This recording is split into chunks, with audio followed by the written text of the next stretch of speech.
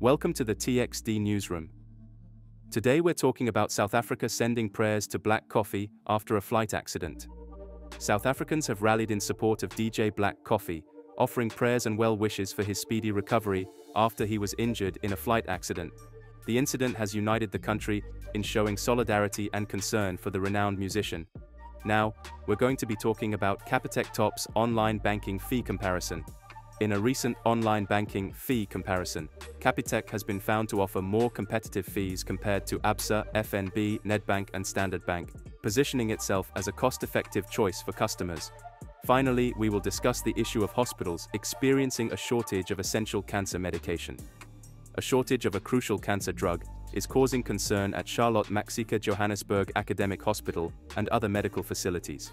Patients' access to essential treatments is at risk due to the dwindling stock of this vital medication.